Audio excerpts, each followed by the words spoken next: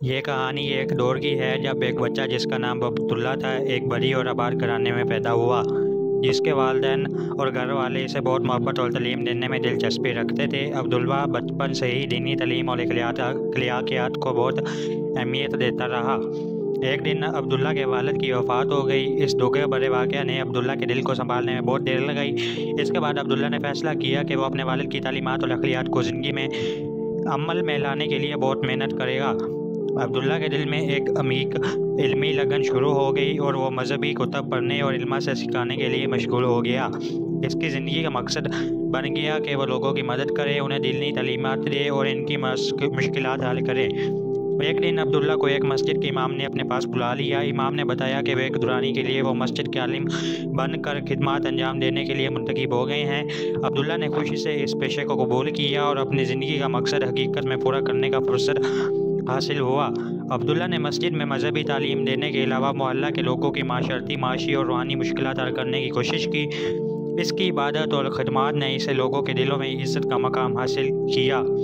ایک دن ایک فقیر شخص عبداللہ کے پاس آ کر اپنی مشکلات بیان کی ہے وہ بہت گرا ہوا اور پریشان تھا اور عبداللہ کے سے مدد اور عبداللہ سے مدد کی درخواست کی۔ عبداللہ نے اس کی سنی اور اس کی مشکلات کا حل تلاش کرنے کی کوشش کی۔ اس نے اپنے دینی علم اور تعلیمات کا استعمال کر کے اس فقیر کی مدد کی اور اس کی زندگی میں راحت کے اقدامات بتائے۔ اس واقعہ نے عبداللہ کے علم و علم کی نشان میں اضافہ کیا اور اس کی روحانیت کو مزید بلند مقامات پر پہنچایا۔ وہ اب ایک محبوب عالم دین بن گئے، جس کی خدمات کو لوگ یاد رکھتے تھے۔ اس واقعے نے عبداللہ کے علم اور علم کی شان میں اضافہ کیا اور اس کے روحانیت کو مزید بلند مقامات پر پہنچایا۔ وہ اب ایک محبوب عالم دین بن گئے جس کی خدمات کو لوگ یاد رکھتے ہیں۔ عبداللہ کی خدمات سے نے ایک عظیم انسانیت پرستی اور دینی محنت کے مظاہرہ کا نمایاں بانی بنایا اور وہ اپنے محلہ میں ایک روشن فرد بن گیا، جس کی ہر زبان پر ان کی باتیں سنی جاتی اور قدر کی گئی۔ اس کی عظیم یہی تھی کہ وہ دنیا کے مختلف کونوں سے آئے لوگوں کی مدد کرتا تھا۔ عبداللہ کی زندگی کی گزارشیں دن بہ دن بڑھتے گئیں وہ مسجد میں علم علم و تعلیم دینے کے علاوہ محلہ کے نوجوانوں کو بہترین اخلاقیات اور دینی باتیں سکھانے دینے میں مصروف رہتے تھے۔ ان کی حسن، خلقی اور اخلاقیات نے لوگوں کو ان کی طرف متاثر کیا اور وہ ان کے مشورے لینے اور ان کے ساتھ وقت گزارنے لگے۔ ایک دن ایک مسجد کی تعمیرات میں مدد کرتے وقت عبداللہ نے ایک مسن شخص کو دیکھا جو تھک کر بیٹھا ہوا تھا۔ وہ شخص بڑی مشکلات کا سامنا کر رہا تھا۔ اس کی باتوں سے ظاہر ہوا کہ اسے خوراک کی کمی کا سامنا ہو رہا ہے۔ عبداللہ نے اس کو اپنے گھر بلایا۔ اور اسے دعوت دی کہ وہ اپنے گھر پر خوراک کریں۔ اس شخص کی مدد کرتے وقت اللہ عبداللہ نے اس کی زندگی کے بارے میں سنا کہ وہ کبھی ایک مرد شخص تھا، مگر اب وہ پریشانیوں میں گھرا ہوا تھا۔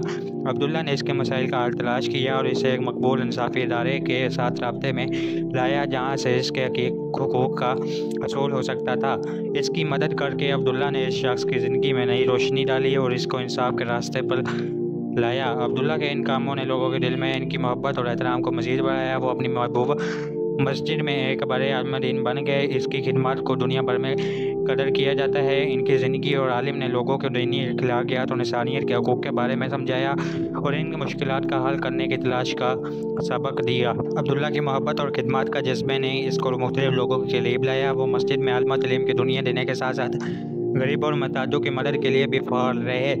اس نے ایک خیراتی فیصلہ کیا کہ وہ ہر ماہ اپنی ذاتی اخراجات سے کچھ چچا نکال کر محتاجوں کی مدد کے لیے احساس کر دے گا اس کا یہ عمل لوگوں کو ان کی انسانیت پر فخر ہوا اور اس کی سروارہ خدمت کو سراہنے لگے۔ ایک روز ایک مسجد کی محفل میں عبداللہ نے ایک نوجوان کو دیکھا جو اپنے زندگی کے ساتھ بہت زیادتی کر رہا تھا۔ وہ مسجد کے باہر کھڑا ہو کر لوگوں سے زبان برقرار تھا اور ان کو دینی تعلیمات کی بجائے غلط راہ پر چلانے کی کے لیے مترک تھا۔ عبداللہ نے اس نوجوان کو سنبھالا اور اس کے مسائل کو حل سمجھنے کی کوشش کی۔ وہ اس مسجد میں آ کر دینی محفلوں میں شامل ہونے کی دعوت دی اور اس سے دینی علم اور حقائق کے ساتھ آگاہ کیا۔ نوجوان کے سنبھالنے اور دلی تعلیمات پر ہدایت کرنے میں عبداللہ کی کوشش نے کامیابی حاصل کی اور وہ اب بھی اس نوجوان کا رہنما بن نہ رہا ہے۔ اس طرح عبداللہ کی خدمات نے یہ صرف نام سے محلہ بلکہ پورے شہر میں انسانیت، اخلاقیات اور دینی تعلیمات کی روشنی بکیر دی۔ اس کہانی سے ہمیں یہ سبق حاصل ہوتا ہے کہ حقیقی کامیابی اور عزت اس قدر حاصل ہوتی ہے جب ہم ایک دوسرے کی مدد کے لیے اپنے علم، محنت اور دینی روشنی کے استعمال کرتے ہیں۔ عبداللہ کی مثال ہمیں یہ بتاتی ہے کہ ہمیں چاہیے کہ ہم اپنی زندگی کو دوسرے کے لیے مفید بنانے کی کوشش کریں اور ان کی مشکلات میں مدد کریں تاکہ ہم اس دنیا میں اپنی موجودگی کی ہی معنی دے سکیں اور آخرت میں بھی ہم ایک اچھا راستہ طے کر سکیں۔